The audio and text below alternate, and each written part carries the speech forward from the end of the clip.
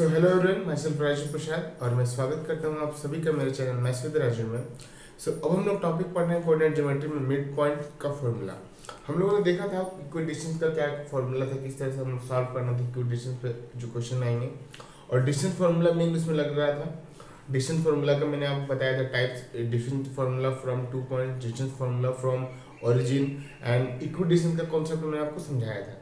इस वीडियो में हम लोग देखने जा रहे हैं मिड पॉइंट का फॉर्मूला देखिए यहाँ पे अगर मान लीजिए आपके पास दो पॉइंट दिया रहेगा, एक पॉइंट होगा यहाँ पे ए जिसका कोऑर्डिनेट होगा x1 one comma y one okay एक दूसरा पॉइंट होगा b, जिसका कोऑर्डिनेट होगा x2 two comma y two x two comma y two ये पॉइंट है a, एक दूसरा पॉइंट है b तो हम लोग देख रहे हैं कि अगर ये a और b को हम लोग ज्वाइन करते हैं मान के चलिए अगर a और b को हम लोग ज्वाइन करते एक लाइन सेगमेंट बन रहा है और इस लाइन सेगमेंट का बीच का एक पॉइंट हम लोग को निकालना होगा। इस लाइन सेगमेंट का एक बीच का पॉइंट निकालना होगा। मान के चलिए ये पॉइंट P है। तो P का जो कोऑर्डिनेट होगा क्या होगा? वो x, y होगा। P का जो कोऑर्डिनेट होगा क्या होगा? X, y होगा। ठीक है? तो दोनों ही पॉइंट्स का मिड पॉइंट निकालना है मुझे। तो यहाँ पे एक्स कोऑर्डिनेट निकालने का फॉर्मूला क्या हो जा रहा है? तो x1 plus x two by two ये x कोऑर्डिनेट निकालने का फॉर्मूला है, और उसके बाद y कोऑर्डिनेट निकालने का फॉर्मूला क्या है? तो y1 one plus y two by two तो ये है फॉर्मूला मिड पॉइंट का, जिससे क्या है? हम लोग अगर दो पॉइंट दिया रहेगा तो उसके बीच में कोई एक पॉइंट हम लोग निकालना हम लोग के लिए पॉसिबल है। फॉर्मूला क्या है? तो x one plus x two by two y का कोऑर्डिनेट का फॉर्मूला है y1 one plus y two by तो ये फॉर्मूला है, ये x जो है रिप्रेजेंट कर रहा है x कोऑर्डिनेट को, और ये जो y है रिप्रेजेंट कर रहा है y कोऑर्डिनेट को. तो ये एक्चुअली में फॉर्मूला हो रहा है मिड पॉइंट का फॉर्मूला ये फॉर्मूला बन रहा है मिड पॉइंट फॉर्मूला ये है formula mid point formula mid point formula mid point formula so अब हम लोग क्या करेंगे कि इस बेस्ड क्वेश्चन हम लोग सॉल्व करेंगे। मिड पॉइंट फॉर्मूला पे बेस्ड पे।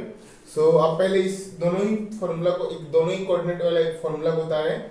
उसके बाद हम लोग एक क्वेश्चन पे डील करते हैं। सो so, अब हम लोग यहाँ पे देखने जा रहे हैं। यहाँ पे क्वेश्चन दिया गया है।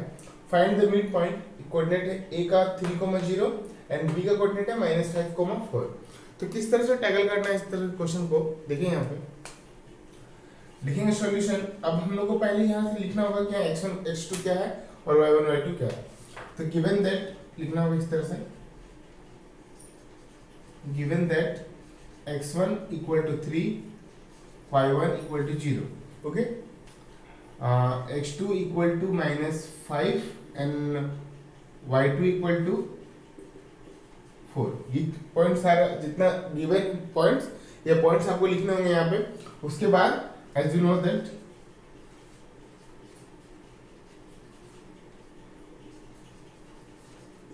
हम लोगों ने क्या फॉर्मूला पढ़ा है मिड पॉइंट का? कि x अगर निकालना है मुझे ओके x अगर निकालना है यहाँ पे एक चीज़ लिखना होगा मुझे यहाँ पे कि let the midpoint midpoint को हम लोग m रिप्रेजेंट कर रहे हैं जिसका कोऑर्डिनेट है x, y. हम लोग क्या कर रहे हैं कि एक दोनों ही पॉइंट a और बी का ज्वाइन करने पे एक लाइन बन रहा है जिसका एक मिड पॉइंट हम लोग क्या एज्यूम कर रहे हैं? m कोऑर्डिनेट है x, y. तो यहाँ पे x निकालने का फॉर्मूला मैंने बताया था आपको। x1 plus x two by two okay and y निकालने का फॉर्मूला क्या मैंने आपको बताया था? y1 one plus y two by two ये कॉन्सेप्ट है। ये हम लोगों ने देखा है। अब उसके बाद देखिए x1 one plus x two में x1 का वैल्यू क्या दिख रहा है? थ्री और x2 का वैल्यू है माइनस फाइव तो three plus of minus five by two तो यहाँ क्या आएगा? देखिए यहाँ पे आप three minus five by two equal to minus two by two answer क्या आ रहा है? माइनस वन एक्स का जो कोऑर्डिनेट है, उसका आंसर क्या आ रहा है? माइनस वन और y one plus y two case में देखिए ये वाई वन का वैल्यू ज़ीरो है वाई टू का वैल्यू फोर है।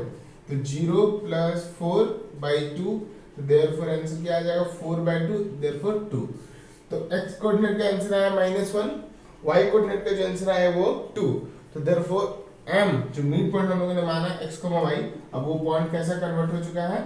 माइनस वन कॉमा टू ये ए और बी का मिड पॉइंट क्या कोऑर्डिनेट है? माइनस वन कॉमा टू तो इस तरह से आपको बनाना है पेपर में। जिस तरह के क्वेश्चन आएँगे, मान लीजिए इस वक्त क्वेश्चन हो सकता है एक, दो नंबर का।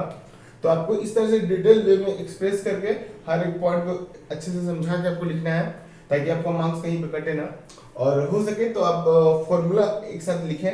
जिस तरह से मैंने फॉर्मूला में पहले लिखा, उसके बाद सेटअप किया, फिर सॉल्व करने पे जो आंसर आया, उस तरह से करें आप। और यहाँ पे ये जो y कोऑर्डिनेट है आपका, मैं बता रहा हूँ, y इक्वल टू क्या है? Y one plus y two by two यहाँ पे zero plus four by two तो आंसर आया टू तो ये एक तरीका है मिड पॉइंट निकालने का। इस तरह से आप मिड पॉइंट निकाल सकते हैं। ये हम लोगों ने देखिए हम लोग एक्चुअली में कॉन्सेप्ट क्या करने का? कि मान लीजिए यहाँ पे इस पूरे वीडियो में मान लीजिए दो पॉइंट है x one comma y one एक दूसरा पॉइंट है B x two comma y two okay तो इस दो पॉइंट को अगर हम लोग ज्वाइन कर रहे हैं तो यहाँ पे एक मिड पॉइंट निकलेगा, जिसको हम लोग एज्यूम करते हैं एम या पी जो भी। तो इसका कोऑर्डिनेट निकालने का फॉर्मूला हम लोगों ने देख लिया। अब हम लोग देखने दूसरे वीडियो में क्या देखने जा रहे हैं? अगर ये पॉइंट ये जो पॉइंट है एम अगर ये बीच में ना होके कहीं और पॉइंट पे, मान लीजिए इधर है ओके ये पॉइंट इधर है। तब यहाँ पे हम लोग क्या करना पड़ेगा? इसको रेशियो में एज्यूम करना पड़ेगा। यहाँ पे हम लोगों ने फॉर्मूला पढ़ेंगे अभी हम लोग। एम और एन के रेशियो में अगर ये लाइन सीगमेंट पूरा डिवाइड हो रहा है तो इस केस में एक्स को मोबाइल कैसे निकलेगा वो हम लोग देखेंगे। ओके सो so, अब हम लोग पढ़ेंगे पढ़ने जा रहे हैं सेक्शन फॉर्मूला सो आप पहले इस चीज़ को एक बार देख लें और नोट कर लें एक बार। उसके बाद हम लोग पढ़ने जा रहे हैं सेक्शन फॉर्मूला सो प्लीज़ एक बार इसे कॉपी कर लीजिए आप। सो अब हम लोग देखने जा रहे हैं सेक्शन फॉर्मूला किस तरह से मान लीजिए, मैं फिर से आपको समझाता हूँ यहाँ पे। मान लीजिए एक पॉइंट है ए जिसका कोऑर्डिनेट है x one comma y one एक दूसरा पॉइंट है बी जिसका कोऑर्डिनेट है x two comma y two ये आपको समझ में आ रही बात?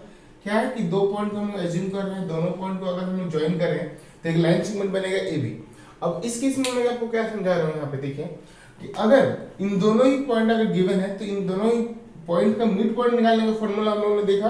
फॉर्मूला क्या था? तो एक्स कोऑर्डिनेट का निकालने का फॉर्मूला था x one plus x two by two और वाई कोऑर्डिनेट निकालने का फॉर्मूला क्या था? Y one plus y two by two हम लोगों ने अभी पढ़ा, मान लीजिए ये एक मिड पॉइंट है एम तो यहाँ पे x निकालने का फॉर्मूला क्या है? X1 one plus x two by two और y y कोऑर्डिनेट निकालने का formula y1 one plus y two by two इस तरह से हम लोग क्या? इस दोनों ही पॉइंट का मिड पॉइंट निकाल सकते हैं। ओके इन दोनों ही पॉइंट ए और बी का एक मिड पॉइंट निकाल सकते हैं x1 one plus x two by two और y1 one plus y two by two करके। बट सपोज़ करिए, अगर ये पॉइंट m मिड पॉइंट अगर ये बीच में ना होके कहीं दूसरे शिफ्ट में है, इस इस तरफ़ मैं उसको इरेज करता हूँ। अगर ये पॉइंट मान के चलिए एम ये इधर है। तो यहाँ पे आप देख सकते हैं, ये जो पॉइंट है, ये जो पूरा लाइन सेगमेंट है ए बी अब ये जो पॉइंट है एम वो कुछ रेशियो में डिवाइड है। ये कुछ पार्ट है, ये एम एम कुछ पार्ट है और एम भी कुछ पार्ट है। समझ में आ रहा है बात? ये पूरा ए बी जो है, वो दो पार्ट में डिवाइड हो चुका है। एम और एम बी एम और यहाँ पे एम बी ये दो पार्ट में डिवाइड हो चुका है देख रहे हैं यहाँ पे। तो इस केस में हम लोग को, अगर हमको m का कोऑर्डिनेट निकालना पड़ेगा तो अगर इस केस में हमको m का कोऑर्डिनेट निकालना हो तो यहाँ पे ये मिड पॉइंट का फॉर्मूला यहाँ पे अप्लाई नहीं हो सकता है। तो इसके लिए हम लोग पढ़ने जा रहे हैं सेक्शन फॉर्मूला इसके लिए हम लोग पढ़ने जा रहे हैं सेक्शन फॉर्मूला देखिए, यहाँ पे सेक्शन फॉर्मूला में क्या आपको बात ध्यान रखना है कि यहाँ पे हम लोग को ऑलरेडी दो ही कोऑर्डिनेट निकालना है एक्स और वाई जिस तरह से मिड पॉइंट में हम लोगों ने निकाला, उसी तरह से हम लोग क्या करेंगे कि सेक्शन फॉर्मूला में यहाँ पे एक कोऑर्डिनेट निकलेगा एक्स का, एक कोऑर्डिनेट निकलेगा वाई का। बट कंडीशन क्या रहेगा कि आपको वहाँ पे रेशियो दिया रहेगा। मतलब ये एम और एम बी का जो रेशियो है, जितना पार्ट ये है, उस, वो रेशियो में दिया रहेगा। तभी वो एम कोऑर्डिनेट निकलेगा। तो क्या है फॉर्मूला मैं आपको समझा रहा हूँ यहाँ पे, आप देखिए यहाँ पे। इस चीज़ को पहले इरेज करते हैं यहाँ पे, क्योंकि एम का कोऑर्डिनेट ये मिड पॉइंट का फॉर्मूला था यहाँ पे। अब मैं आपको जो बता रहा हूँ, आप ध्यान से देखिए। अगर, फिर से मैं आपको क्लियर करता हूँ क्या कॉन्सेप्ट है। अगर मान के चलिए ये पूरा लेंथ ए बी है, ये पूरा लेंथ क्या है? ए बी है। तो इस केस में अगर एम एक पॉइंट है, जो मिड पॉइंट ना होकर कहीं एक साइड है या इस साइड है। तो इस केस में हम लोग देख रहे हैं कि पूरा ए बी जो लेंथ है, वो दो पार्ट में डिवाइड हो चुका है।